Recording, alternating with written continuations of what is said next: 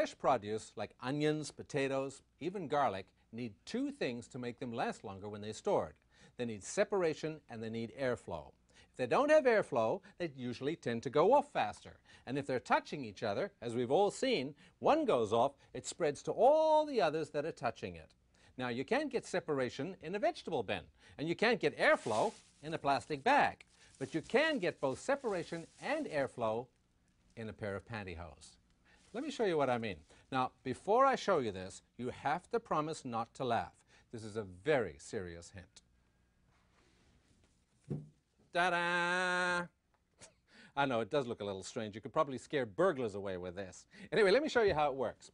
What you do is you drop an onion into the foot of one leg and you tie a knot above it like this. Drop another onion on top of that and tie another knot above that one.